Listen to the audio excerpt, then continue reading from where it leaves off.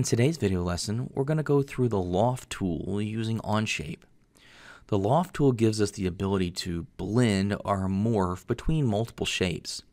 So the one that you see right here, I kind of think of this as a vacuum tool attachment or a vacuum hood where it's going to go from a circle to a rectangle. Let's see if we can't give this one a try. So the first thing I want to do is start off with one of my shapes, and I'm going to use one of the planes that's already existing. For right now, I'm going to choose the front plane. On that front plane, I'm either going to put on my rectangle or my circle. Let's start with a circle. I am going to go ahead and lock it onto the origin for this specific example. I'm not going to worry about any sizes or dimensions right now. I just want to kind of figure out how to use this tool. I can always come back in and change these dimensions later. So right now I have a circle and it's laying on the front plane. To be able to make this, I can see that the rectangle and the circle are actually parallel to each other in parallel planes. So my circle was back here and my rectangle's out there. It really doesn't matter as I'm drawing this one right now whether I go backwards to the rectangle or come forwards to the rectangle. That's completely up to me on how I design this specific part. So I need to be able to draw back here, more in front here, either way. But there's nothing for me to actually put a new sketch on. I need to create an offset plane. I'm going to come up to the plane tool and I'm going to leave it as an offset. There are a whole bunch of different ones. We might get into them later, but for right now I just want the offset plane. I can then pick the front view, and typically it always brings that new plane out in front of it. So I can either click this black arrow to make it go backwards instead of forwards, or I can just grab this arrow and pull it backwards. You'll notice that the offset distance didn't change from like negative to positive. Um, Onshape doesn't need that. It just uses this black arrow to be able to assign whether it's going to go forwards or backwards. So for this example, I'm going to go backwards. But the question is, how much? Well, there actually is a number right here that keeps popping on. But again, I'm just dealing with proportions right now. So ish, somewhere kind of around here is going to work for what I need. Your question may be, can you edit that later? Well, sure. Um, I'm just going to actually highlight the plane, and when I do, it will find it over here in my features bar. If I right click on it, I can edit it. Once I've edited it, I can then go ahead and change its distance or I can change its direction. I can also just right click on it out in the field and I can go ahead and edit the plane from there. So either way, you can either come over here to the features bar or you can edit it out on your screen. All right, so we've got a circle. We have two planes that are parallel to each other, and I'm going to do another new sketch on my new plane. For this example, I'd actually like my two shapes to be directly in line with each other. So my circle is going to be centered on my rectangle. To be able to do that, I'm actually going to borrow that center point or that origin dot that I locked my circle onto. I'm going to do that with a use or project tool and I'm just going to click that. It'll actually send that dot all the way to the back. I could do that for any shapes. If I wanted to do the circle, I could do that too. Right now, all I wanted was the dot so that I could lock my rectangle onto it. This also gives us the opportunity to use a different kind of rectangle. Instead of the two-point rectangle or the corner rectangle, we're going to use the center point rectangle. With the center point rectangle, I can actually lock its origin or its midpoint on that dot, and then as I bring it out, it'll do it symmetrically from there. Now I got to decide exactly how big I want this to be.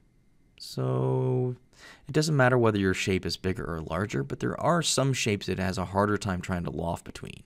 So I'm going to go to something kind of ish like that. Okay, great. So I now have a circle that's on a parallel plane to my new plane or offset plane, and then I have a rectangle. Okay, so just how does the loft tool work? Once you open up the loft tool, it wants your profiles. There can be more than just two. For this example, I'm going to go from the circle to the rectangle, and it'll loft that for me.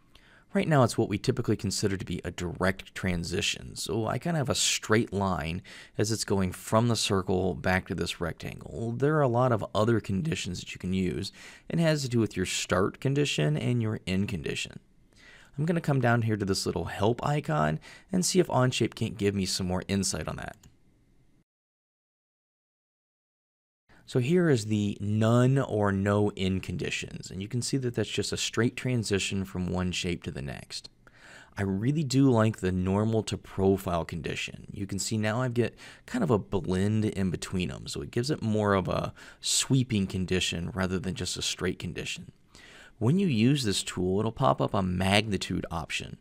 With the magnitude option, you can change the magnitude to pull that more one way or the other. So right now they changed it from a magnitude of 1, that's the default, to 3. And as they did that, that left a much higher magnitude on this end and then left a small amount as it went to the other end. There are a bunch of other conditions that you can try to use to try to make some fancier lofts. For this one, I'm going to change my start profile condition to normal and my end to normal. And as I do that, you can see that I now have that kind of blend in between them. Um, be careful, there are some that whatever you've drawn that it might like and it might not like. All right, for this one, I would actually like there to be a greater distance, just proportionally between my front plane and the plane that I created. So I'm going to edit this one. I'm going to pull it a little bit further out.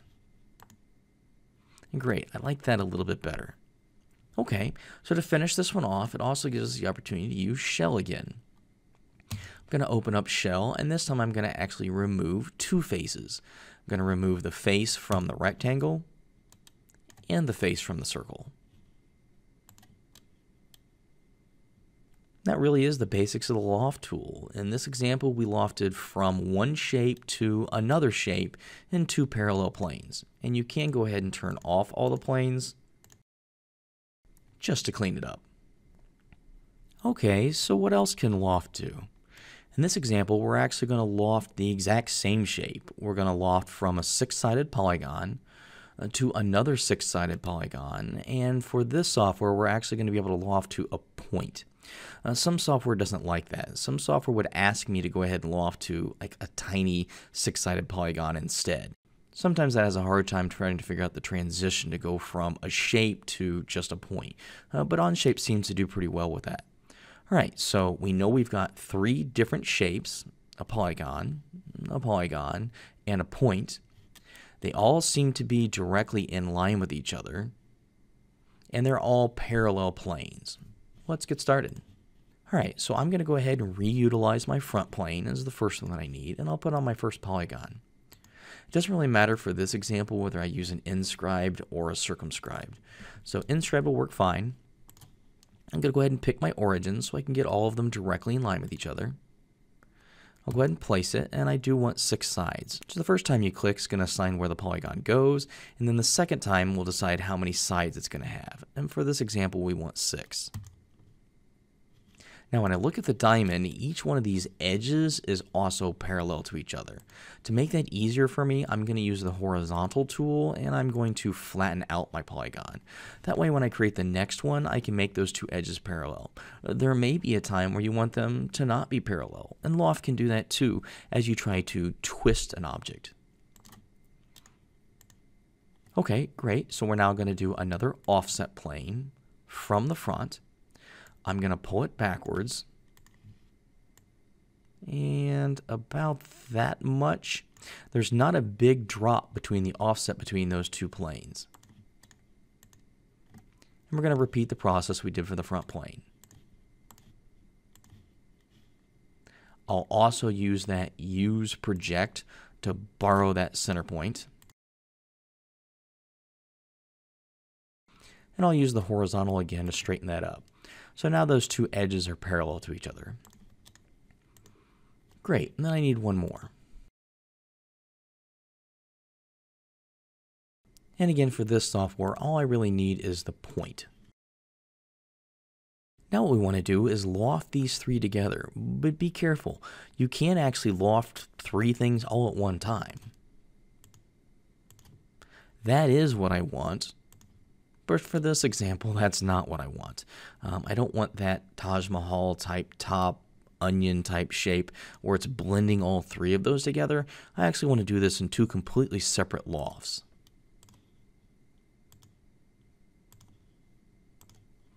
So that will get us our top.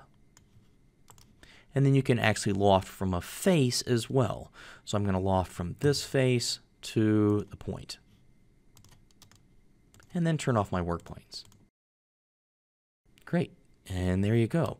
So we actually just lofted from one size shape to another size shape.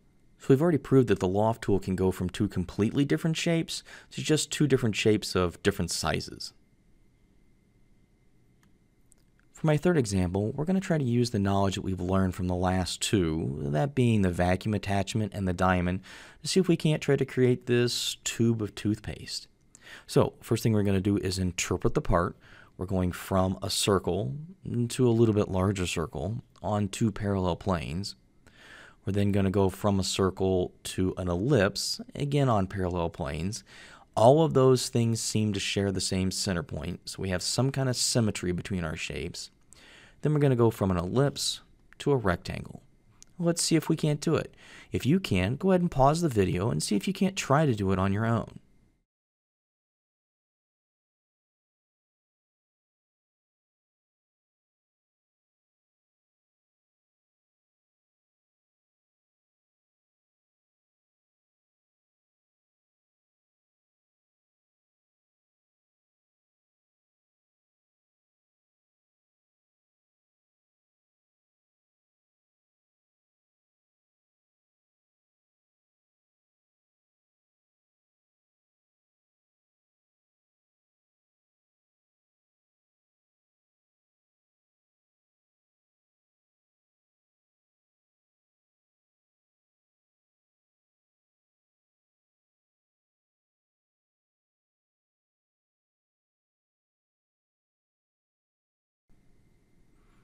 Mm, great. How did yours do? For our next example, we're actually going to loft between two different shapes, but along a path. This is not just a straight transition in between them. We're going to give it the opportunity to actually bend and bow and follow some kind of path. So it's not the same as the sweep, which we're going to use later. We can actually go between two different shapes here. It just happens to be for this example, I'm going to use two triangles, but I am going to twist one, and it is going to be a little bit larger. But I could go between two completely different shapes. So let's get started. So the first thing I'm going to do is just start off with one triangle.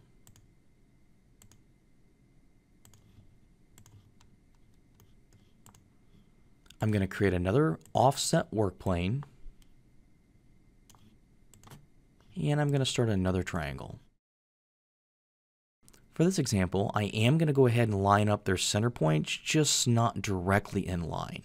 So my next one is going to be in line with each other, but somewhere over here.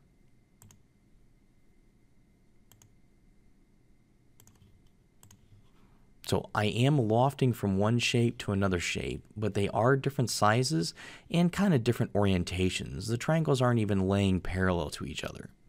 So if I just do a normal loft right now, it should still work. That's not what I want. I don't want a direct transition as it's going there. And I don't want to just change the start and end profiles. I actually want to make my own path. Be able to do that because my first shape was drawn off of the origin and this one is in line with each other, then the top is a plane that lays in between those. I'm going to do a new sketch on that top plane and then I'm going to create some type of path that's going to get me from one shape to the next shape. I'll use the three-point arc for this example.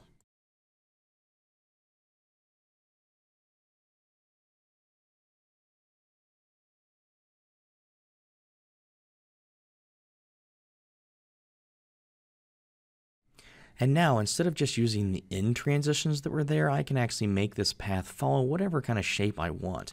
Here I've just simply put two three-point arcs together. Okay, so just how does it work? Well, when we're in the loft tool, you just start it off like we normally would. But here I'm going to choose a path. And once I choose a path, I'm going to pick both of the edges that I created. It'll actually make it follow that path. You do have the section count. If I change the section count back to 1, it will be kind of a simple transition. So it's just kind of doing a hard transition from one part of my arc to the next part of the arc. And that's not really that smooth. It's decent, but the more section counts I have on there, and then the more similar it's going to be to the path that I created. And again, this is not exactly the same as sweep because I could have gone from one shape to a completely different shape.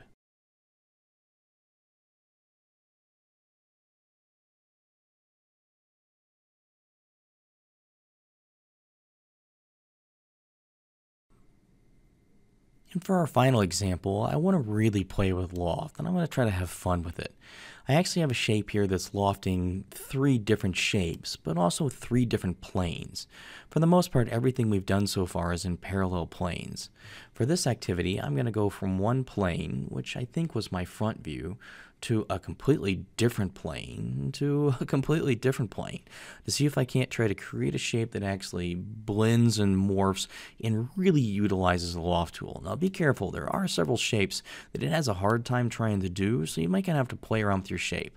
For this one, I use three different rectangles. They're not the same sizes and not in the same orientation, but the biggest thing is they live in different planes. Let's see if I can't get one to work.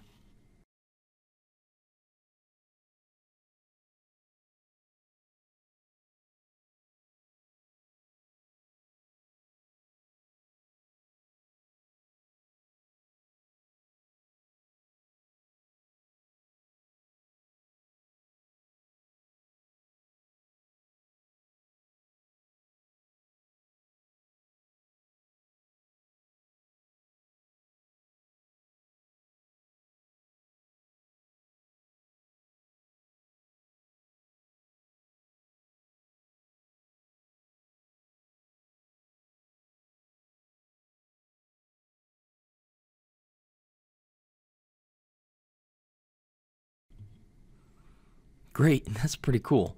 So I've gone from one plane being the front. I've offset my top plane to be able to make this one in here, and then offset my right side plane to go out there. And that's pretty cool. Loft really is a pretty powerful tool to try to create some more organic shapes, especially shapes that aren't just really extrudes or revolve. So hopefully you can have fun with Loft and try to create something pretty cool.